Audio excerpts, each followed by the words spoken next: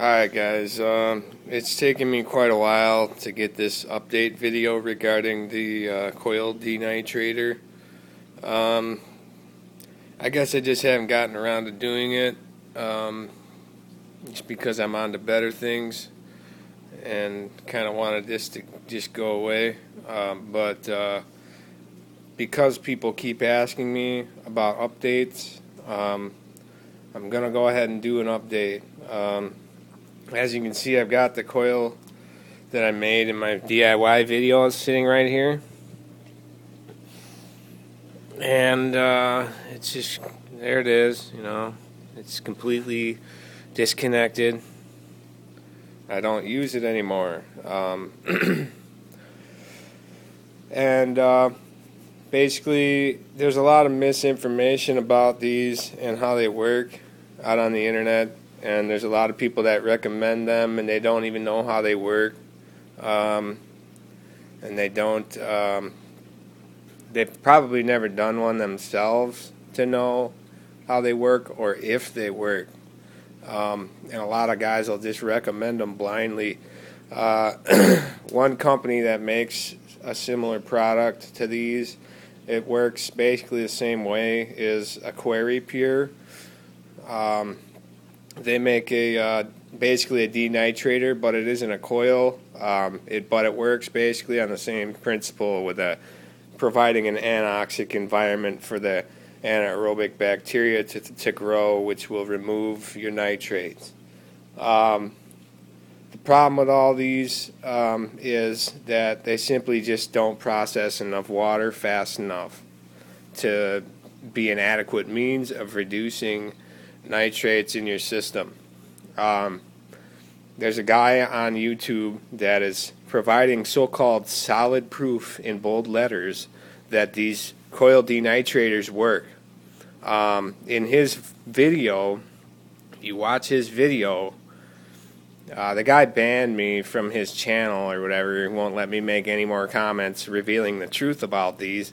Um, and I don't uh, I don't really uh, condone that kind of thing either. But uh, uh, anyways, I'm making my own video to show you guys the truth uh, or to expose the truth about these. Um, it, well, in his back to his video. In his video, you can see him um, taking a sample from his tank, and then taking a sample from the output of his coil and then he does a nitrate test on both, and you'll see that there are none coming out of the coil, and there's uh, looks to be about 40 ppm in his tank um, based on the color of uh, his test. So what does that say? Yeah, the quick answer is yes, they work. Well, no, they don't, because if they did, both tests would be yellow. Um, so there's your proof that they don't work um, in his video that so-called proves that they do work. Um, that's exactly the problem that I ran into. Um, yeah, I got um, zero nitrates coming out of this thing, but they do not process at about two drips a minute or whatever you get out of these things. I'm sorry, but there's no way you're going to process enough water fast enough to reduce your nitrate levels. And if you're going to use this as a supplementary reduction method, um, it's just not going to be adequate.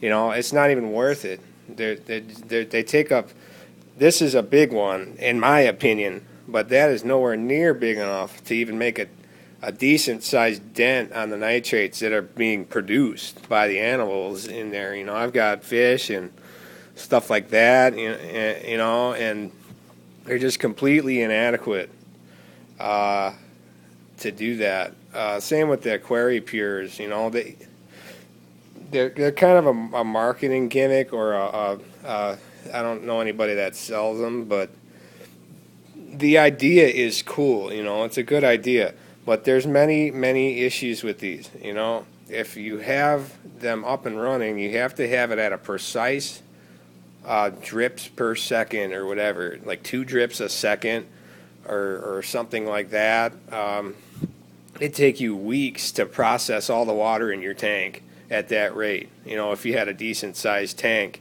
you're gonna talk. You're talking about weeks. You know, you, nitrates can build up a lot quicker than that. You know, and same with phosphates. You know, that's an even bigger issue. Uh, but, anyways. Um, the uh, the drip rate is critical, you know, and, and, you got about two two drips a second or whatever it's got to be.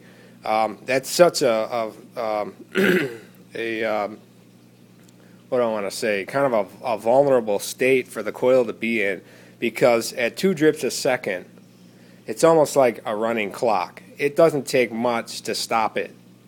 You know, I mean, you can just a little bit of a a piece of dust or something gets clogged in there, you're gonna, you know, your two drips are down to none, you know, and you're not dripping nothing now. You know, the restriction, you got to reduce the flow so much to get down to two drips, uh, and you're at a vulnerable state like that, and you're gonna end up clogging.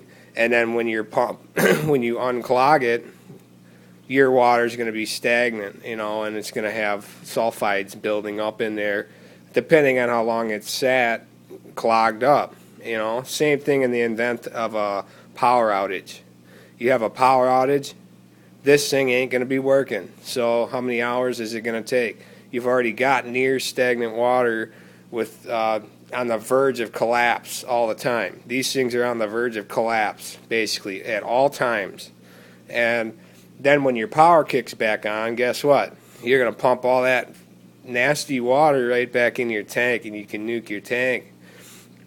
Um, I mean, there's some dangers involved right there. My advice to you guys don't waste your time with anything like this. Um, get some bio pellets, get a refugium, get a deep sand bed, grow some macros, you know, do whatever you got to do, you know, outside of this because this is just uh, not going to be fun for you. I'm telling you right now, they they uh, they require constant monitoring to make sure that the drip rates are correct, and um, like I said, they clog up. You know, I even pre-filtered the pump going in uh, with a 0.5 micron filter bag. Um, and it still got clogged on almost an hourly basis sometimes. So I had to keep keep unclogging. It was just a nightmare.